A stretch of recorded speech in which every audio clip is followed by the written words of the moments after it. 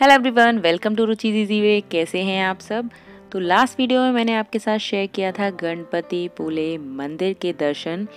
आज की वीडियो में मैं आपके साथ शेयर करूँगी गणपति पुले बीच जो क्लीनेस्ट बीचेस में से एक बीच है, जो आप देखकर समझ जाएँगे। तो वीडियो को एंड तक देखिए होपफुली आपको वीडियो अच्छा लगेगा। तो वीडियो को शुरू करते हैं।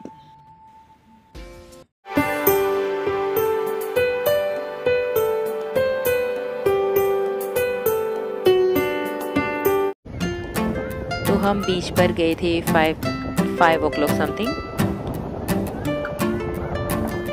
तो आप देख सकते हैं, और यहाँ पर सनसेट का टाइम होने वाला है। बहुत ही क्लीन और आई थिंक क्लीन होने का एक रीज़न ये भी है, यहाँ पर आपको बहुत ज़्यादा शॉप्स नहीं मिलेंगे। जहाँ पर जितने ज़्यादा फ़ूड स्टॉल्स होते हैं, वहाँ पर उतना ही ज़्यादा कचरा भी होता है।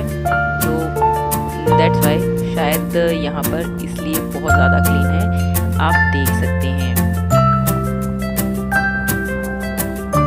पानी में बस आपको छोटे छोटे से क्रैब्स दिखेंगे, जो आप देख सकते हैं वीडियो में। जैसे ही वेव आती है तो वो ऊपर आ जाते हैं और वापस अंदर चले जाते हैं। और जब भी आप सी के पास आए तो या कभी भी सी घूमने जा रहे हैं एक से दो पैर कपड़े एक्स्ट्रा ज़रूर रखें स्पेशली जब बच्चे हैं तब। And it's me and it's my channel name तो जो भी फ़र्स्ट टाइम देख रहे हैं सब्सक्राइब टू माय चैनल और भी इंटरेस्टिंग वीडियोस के लिए। और यहाँ पर आप एक्टिविटीज़ भी कर सकते हैं। जैसे कि ये राइड है जो आप पीछे देख रहे हैं। आप यहाँ पर बगी राइड भी कर सकते हैं, यहाँ पर बोटिंग भी होती है, वो भी आप कर सकते हैं। तो इस तरीके की कुछ एक्टिविटीज़ हैं जो आप यहाँ पर कर सकते हैं।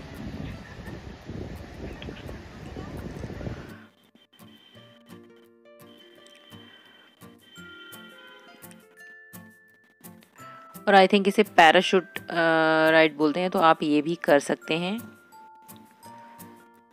और इनके प्राइजेस फिक्स हैं यहाँ पर। आप थोड़ा बहुत बार्गेनिंग करना चाहें तो कर सकते हैं। अदरवाइज़ इनके जो प्राइस हैं, वो फिक्स होते हैं।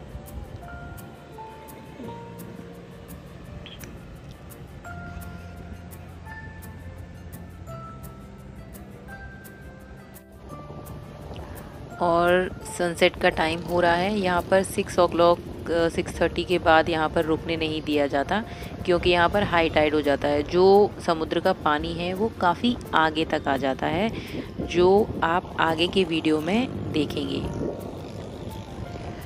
स्पेशली बच्चे बीच पर बहुत इन्जॉय करते हैं।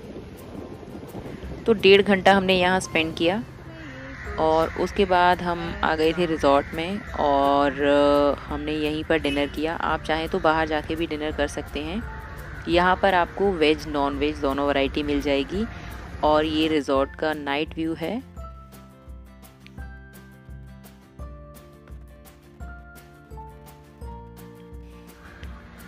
आप अपनी गाड़ी की पार्किंग अपने जस्ट रूम के सामने कर सकते हैं। और ये है कैफेटेरिया। और ये है मॉर्निंग व्यू जो मैंने रूम की बैल्कनी से लिया है। आप देख सकते हैं, पानी बहुत ज़्यादा आगे आ गया है। और जब हम कल इवनिंग में गए थे तो पानी काफ़ी पीछे था। और मॉर्निंग में जब आप रूम का डोर ओपन करेंगे तो जो समुद्र की वेव्स होती हैं, उनकी आवाज़, बहुत तेज़ आवाज़ आती है। और बहुत ही ब्यूटीफुल व्यू मॉर्निंग में जब उठ के आप देखेंगे। सो ब्यूटीफुल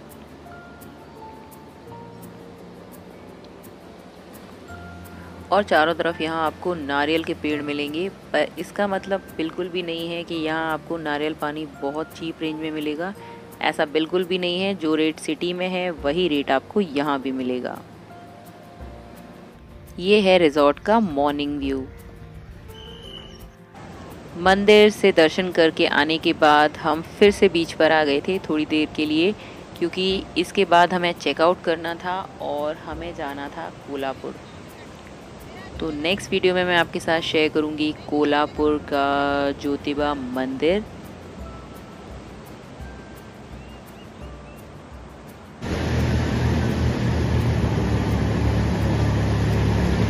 इतना ज़्यादा नीट एंड क्लीन था कि मतलब यहाँ से जाने का मन ही नहीं कर रहा था। ये बहुत ही ज़्यादा अच्छा था। और इस साइड पर जहाँ हम आए थे थोड़ा सा आगे जाके तो यहाँ पर क्रैब्स भी नहीं थे।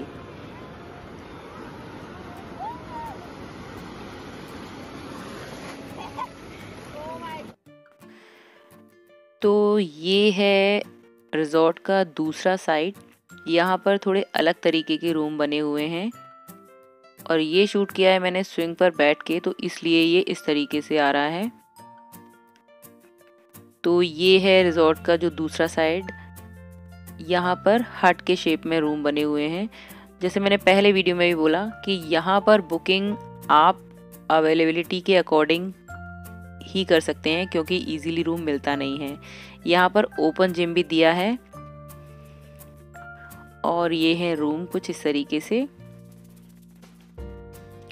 और सभी रूम के प्राइजेस अलग अलग हैं।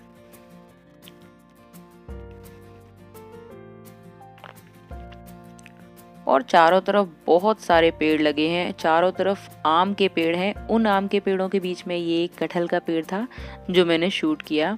और ये है रिज़ॉर्ट के साइड में सी का बैक वाटर यहाँ पर भी बोटिंग होती है। तो मिलते हैं नेक्स्ट वीडियो में। तब तक के लिए थैंक यू सो मच